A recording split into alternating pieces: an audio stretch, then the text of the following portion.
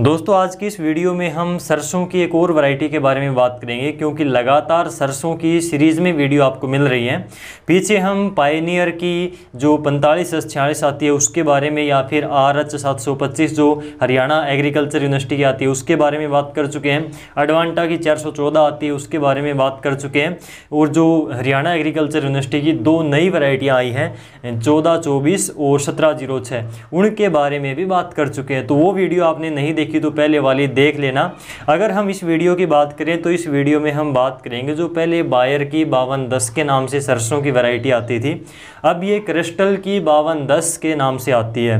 तो क्रिस्टल की बावन दस की जो वैरायटी है, इस वैरायटी के बारे में आज के इस वीडियो में हम बात करेंगे। ये वैरायटी अब की बार किस रेट के ऊपर बिक रही है, किस रेट पर आपको ये बीज मिलेगा, मेरे क्षेत्र में क्या रेट है, ये मैं आपको इस वीडियो में ज़रूर बताऊँगा। तो चलिए एक एक करके इसके बारे में इसके मेन मेन फीचर हैं, वो हम जान लेते हैं कि इसकी विशेषताएँ क्या हैं?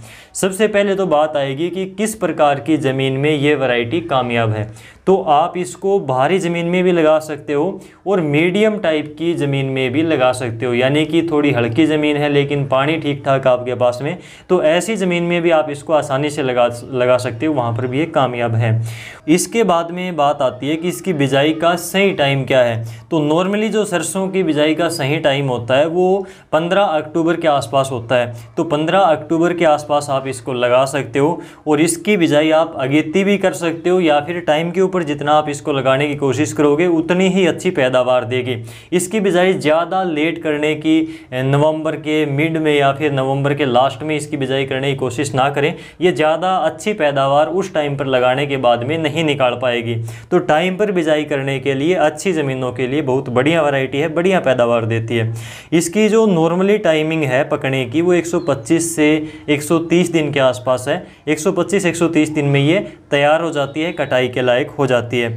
इसकी फ़सल की जो ऊंचाई है हाइट है, वो नॉर्मली ही जाती है 180 सेंटीमीटर के आसपास। तो नॉर्मल हाइट है, ज़्यादा नहीं है तो कम भी नहीं है। इस वैरायटी में तेल की मात्रा भी अच्छी खासी है 40 से इकतालीस परसेंट के आसपास इसमें तेल की मात्रा नॉर्मली पाई जाती है, जो कि काफ़ी अच्छी कह सकते हैं हम। क्योंकि आजकल सरसों में तेल की मात्रा की भी जाँच होने लगी है, जब मंडी में लेकर जाते हैं या फिर व्यापारी को देते हैं तो तेल की मात्रा की जाँच की जाती है, उसके हिसाब से भी प्राइस जो है आपका रेट जो सरसों का, वो तय होता है। तो ये चीज़ भी आजकल देखने के लिए ज़रूरी हो गई है। अब बात करें इसकी प्रोडक्शन की, कि ये पैदावार कितनी दे देती है? प्रोडक्शन में कहाँ तक जाती है? तो प्रोडक्शन के मामले में, पैदावार के मामले में अच्छी वैरायटियों में आती है टॉप वैरायटियों में आती है, इसलिए मैं आपको यहाँ पर बता रहा हूँ।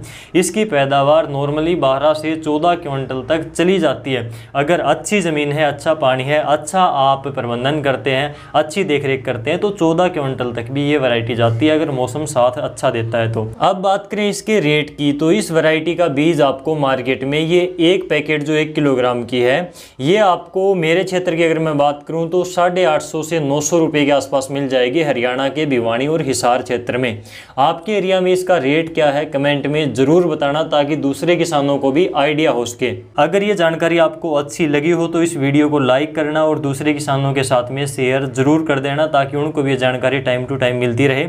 आज की इस वीडियो में बस इतना ही। आपसे फिर मुलाकात होगी कोई और अच्छी जानकारी के साथ में। तब तक के लिए नमस्कार।